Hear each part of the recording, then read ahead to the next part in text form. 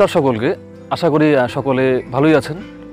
তো অনেক দিন বাদে আজকে আমরা একটি ভিডিও নিয়ে এসেছি আপনাদের জন্য। আজকে আমরা যে জায়গায় রয়েছি, সেটি হচ্ছে মাথাভাঙ্গা দুই নং ব্লকের নিশিগঞ্জ টু গ্রাম পঞ্চায়েতের কোদালখেতি গ্রামে। তো এখানে আমাদের, আপনারা দেখছেন যে একটি হাঁসের খামারে। এখানে অ্যাকচুয়ালি চার ধরনের হাঁসের যে ভ্যারাইটি সেগুলি আছে। তো এই বিষয় নিয়ে আজকে আমরা আমাদের যে চাষি ভাই আছে, ওনার সঙ্গে বিস্তারিতভাবে আলোচনা করে নেব।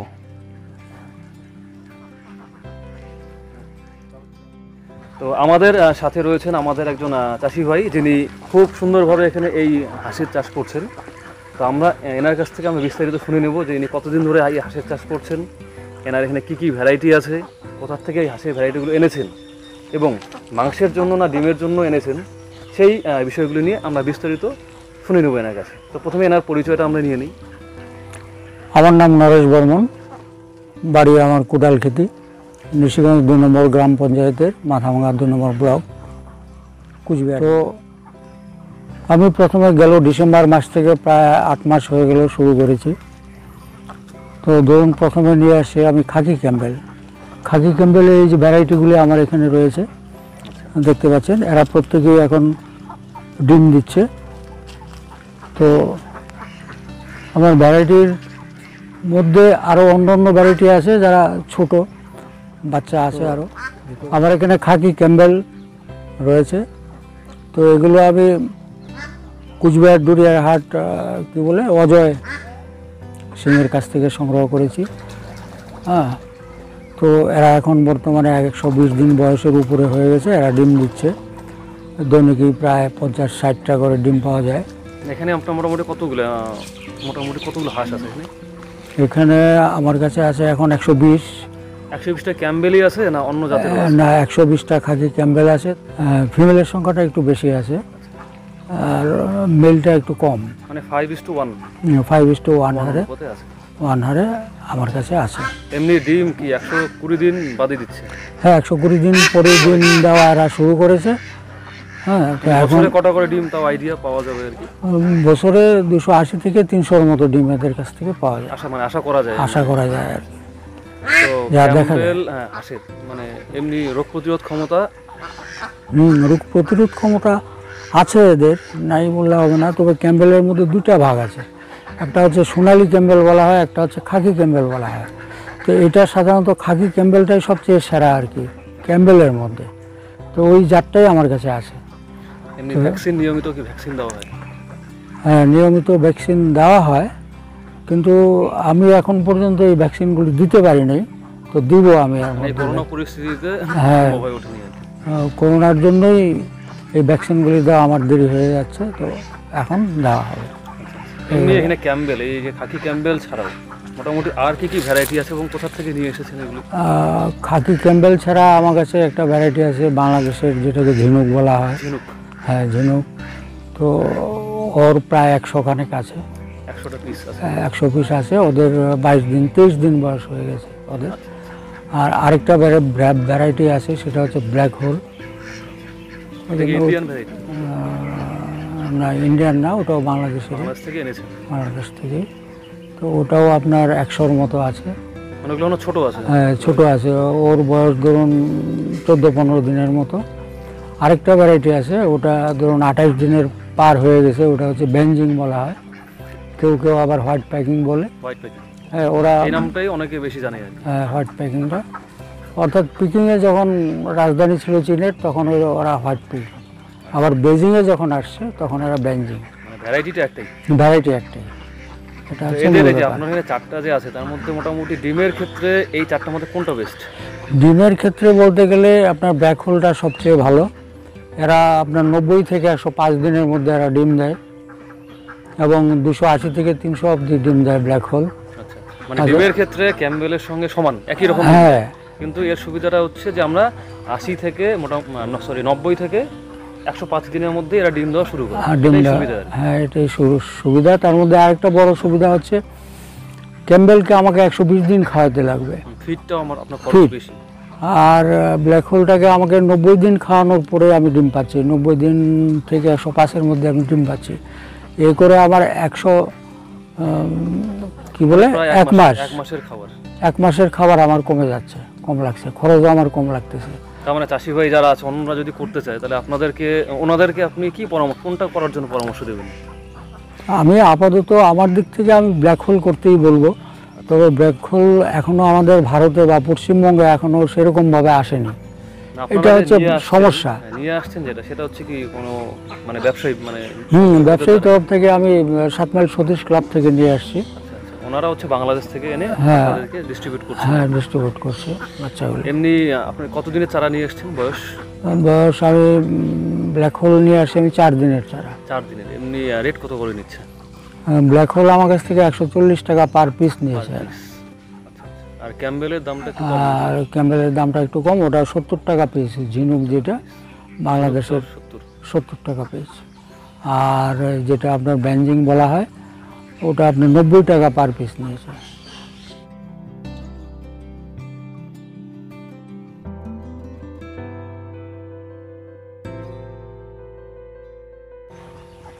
এবার আমি আহ, নরেশ বাবুর কাছে আরেকটি বিষয় জানতে চাবো যে এই যে আপনারা মোটামুটি এখানে ক্যাম্বেল হাঁস এবং আপনার কাছে অন্যান্য যে হাঁসের ভ্যারাইটিগুলো আছে তো ওদের পরিচর্যা এবং ওদের হচ্ছে যে এই আমরা জানি যে একটু জলের প্রয়োজন হয়।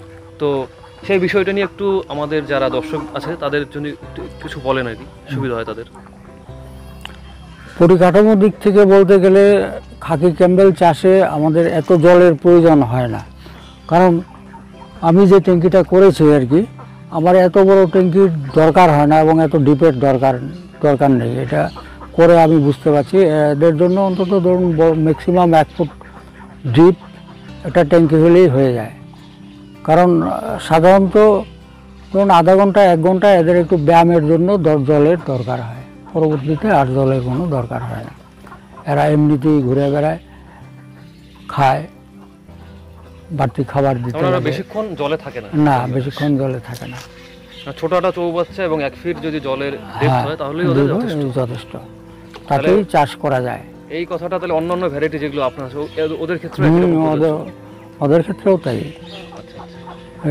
ব্ল্যাক হোল বলেন ঝিনুক বলেন তারপরে আপনার ব্যাঞ্জিং বলেন ওরা সবাই কারোরই এত জলের প্রয়োজন হয় না। মানে ছোট্ট একটা আপনার এই এলাকায় খালি স্রেফ একটু ঘেরাও নেট দিয়ে ঘেরাও করে নিয়ে তারপরে আপনার এক ফুট খানেক ডিপ একটা চৌবাচ্চার মতো জায়গা হলেই এদেরকে নিয়ে চাষ করা যায়। এবং এতে যে বাড়তি ইনকাম এটা একটা দারুণ ব্যাপার। এবং এটা একটা খুব সুন্দর মজার জিনিস। এবং এটা কেউ যদি কাজ শুরু করে মনে হয় আমি সারাদিন ওখানে কাজটাই করি। প্রাকৃতিক একটা পরিবেশ এখানে হ্যাঁ। এত এত ভালো লাগে সময় কাটানো থেকে শুরু করে আপনার এদেরকে পরিচর্যা করা। এদের সময় মতো খাবার দেওয়া এবং এদের দেখাশোনা করা একটা বিশাল পাওনা। তার মানে আপনার অন্য যদি কোনো কাজও করে থাকেন আপনারা তো এক্সট্রা অতিরিক্ত ইনকাম হিসাবে আপনারা এই হাঁসের চাষটা খুব ভালোভাবেই করতে পারেন। অবশ্যই। আপনার এখন মোটামুটি ডেইলি কতগুলো ডিম পাচ্ছেন? ডেলি এখন আমার ধরুন নাইনটি ফোর চুরানব্বইটার মতো আমার ইয়ে ফিমেল আছে। খাকি। তার থেকে এখন পঞ্চাশ থেকে ষাটটার মতো ডিম আমি পার ডে পাই। পঞ্চাশ থেকে ষাট টাকা মানে 50 থেকে 60 টাকা। মানে এই কয়েকটা মুরগির থেকেও মানে আপনি হ্যাঁ। সরি হাঁসের থেকেও পাচ্ছেন আর কি। থেকে পঞ্চাশ থেকে পাচ্ছি। ষাটটা তো এটা এখন মার্কেটে এমনি ভ্যালু কীরকম আছে? একটা ডিমের? মার্কেটে আমরা খুচরা ধরুন চল্লিশ টাকা বিক্রি হয়। চার চার চার পিস হ্যাঁ, চার পিস দশ টাকা পার পিস করে চার পিস চল্লিশ টাকা হিসাবে বিক্রি হয় আর কি। তো আমি সেই জায়গায় নয় টাকা করে বিক্রি পাইকারিতে টাকা করে নয় টাকা করে বিক্রি করছি। এটা বাংলাদেশ থেকে নিয়ে আসা হয়েছে। এর নাম হচ্ছে ব্ল্যাক হোল এটা আমার কাছে একশো পিস আছে। এদেরকে একদিন বয়স থেকে বিশ দিন পর্যন্ত প্রি স্টার্টার ক্রামস এটা দেওয়া হয়। যেমন দেওয়া আছে এখানে। এটা ঝিনুক, এটাও বাংলাদেশ থেকে আনা। এটাও আমার কাছে একশো পিস আছে। এদের বর্তমান বয়স বাইশ দিন। এদেরকে প্রি স্টার্টার ক্রামস প্লাস গম তার সাথে ধানের কুড়া মিশিয়ে খাবার দেওয়া হয়। আয় আয় আয় আয়।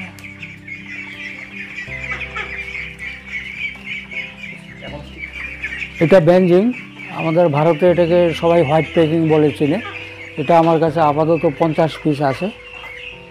বুঝলেন? এদেরকেও খাবারের দিক থেকে প্রথমে প্রি স্টার্টার গ্রামস এবং বিশ দিন পার হয়ে গেলে তার সাথে গম, কোড়া মিশিয়ে এদেরকে দেওয়া হয়।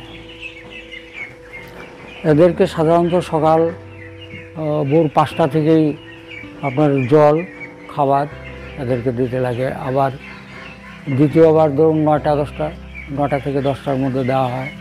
আবার তৃতীয় ধরুন আপনার বারোটা থেকে একটার মধ্যে খাবার দেওয়া হয়। আবার বিকেল তিনটা থেকে চারটার মধ্যে দেওয়া হয়। আবার রাত্রি সাতটা থেকে আটটার মধ্যে একবার দেওয়া হয়। আবার পাশাপাশি আমি রাত্রি এগারোটা দশটা থেকে এগারোটার মধ্যে এদেরকে খাবার দিই। আপনি কত টাইম খাবার দেন খাবার দিচ্ছি আমি ধরুন সাতবার। সাতবার আমি খাবার দিই? না ভ্যাকসিন এখনও করা হয়নি। এদেরকে ভ্যাকসিন করতে আসবে এর মধ্যেই। হুম আঠাশ দিন বয়স হয়ে গেছে এদের এদেরকে ভ্যাকসিন দিতে হবে। ওদেরকেও ভ্যাকসিন দিতে লাগবে। এটা পরে হবে ভ্যাকসিন আপনি ভ্যাকসিন কতদিন পর পর দেন ভ্যাকসিনটা সাধারণত আপনার আঠাশ দিন বয়স পার হলেই ভ্যাকসিন দেওয়া হয় প্রথম। তো প্রথমে দেওয়া হয় আপনার এই ডিপি অর্থাৎ ডাক প্ল্যাক এই ভ্যাকসিনটাই প্রথম দেওয়া হয় আর কি।